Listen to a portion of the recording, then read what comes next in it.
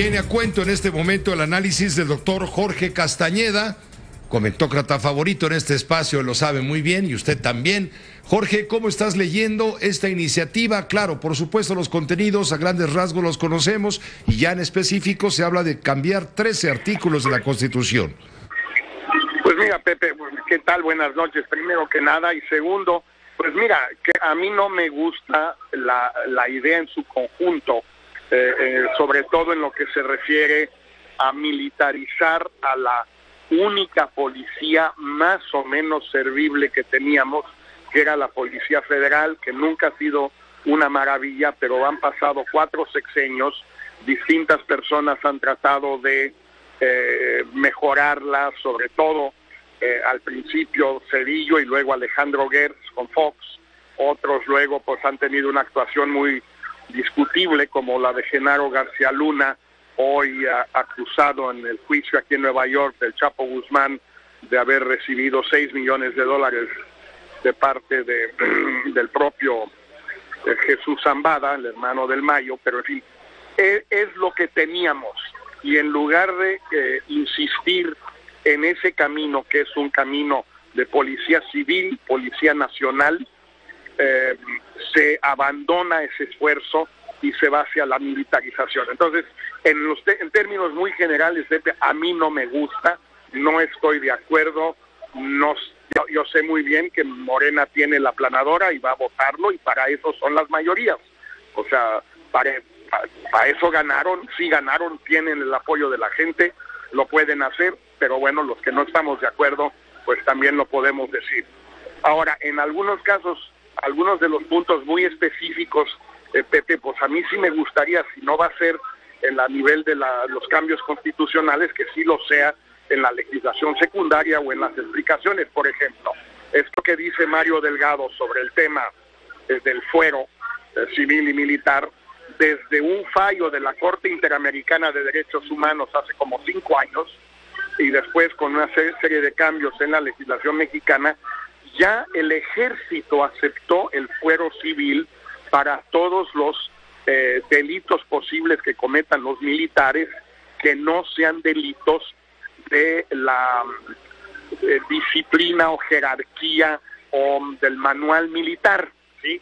O sea, un cabo que eh, no sigue las órdenes de un teniente, porque eso sí es del fuero militar, pero si un soldado mata a alguien, eso desde hace algunos años ya se debe de juzgar por este fallo de la CIDH eh, eh, por el fuero civil. Entonces, pues Mario Delgado está un poquito exagerando esas virtudes. También cuando se habla de que con las tres, las tres policías van a juntar 50 mil, pues a mí no me salen las cuentas, porque aunque nadie sabe bien a bien cuántos son los la policía militar, parece que son 10, 12, 13, 14 mil cuando mucho, y la naval creo que son 500. Entonces, los demás o son federales o no existen. ahí tienes más detalles de varios tipos. Entonces, creo que aquí estamos viendo algo muy improvisado, Pepe, muy precipitado, eh, y en mi opinión muy negativo para el país por el tema de la militarización. No me gusta, no estoy de acuerdo pero para eso hay elecciones. Ellos ganaron, pues tienen todo el derecho de hacer más o menos lo que quieran. Ahora, apenas el jueves de la semana pasada, la Suprema Corte de Justicia, por mayoría de 10 ministros, eh, mayoría contundente, rotunda, vamos, casi la totalidad menos uno, mm, tumbaron la ley de seguridad interior promulgada por el presidente Enrique Peña Nieto.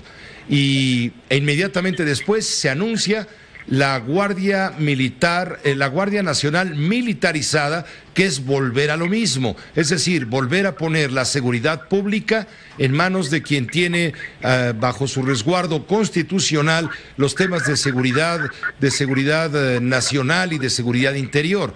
Es decir, está tomando Andrés Manuel López Obrador en esta iniciativa a través de Morena, está retomando justamente el combate al crimen en general para darle paz a las familias. Eh, a partir de la disciplina militar, argumentando que las policías son un verdadero desastre. Es decir, lo que hizo Peña Nieto está mal y tú tira, se tira la, se cae la ley, lo tira la Suprema Corte, inmediatamente viene la propuesta eh, de con la ley bajo los rumbos que ha marcado eh, Andrés Manuel López Obrador. No quiero la ley de mi antecesor, pero quiero mi propia ley. Pues mira, Pepe, en efecto, eso es. Yo quiero mi ley, yo quiero mis cambios constitucionales, los quiero, los quiero a mi manera y en efecto quiero militarizar esto, pero para seguir en el fondo la misma estrategia. Porque, por ejemplo, lo que a mí no me queda claro en todo el programa que se publicó, lo, leí eh, con algo de cuidado, lo que no me queda claro para nada, por ejemplo, es qué va a hacer la Guardia Nacional. ¿Va a seguir quemando sembradíos, plantíos de marihuana y de amapola? ¿O va a estar en las aglomeraciones urbanas, pequeñas, medianas o grandes, dándole seguridad a la gente, a las familias, como tú dices. Son dos cosas muy distintas. Decir que se va a hacer todo es decir que no se va a hacer nada, porque no alcanza para hacer todo. Entonces, ¿van a subir a la sierra a quemar sembradíos de marihuana? Sí o no. No quieren decirlo. Y así sucesivamente.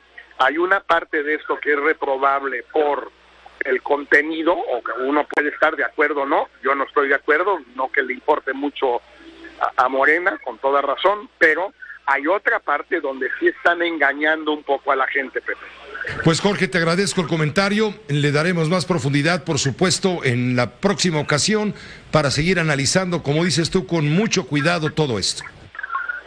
Gracias, Pepe. Un fuerte abrazo. Otro para ti hasta Nueva York. Gracias, el doctor Jorge Castañeda, comentarista en este espacio de noticias.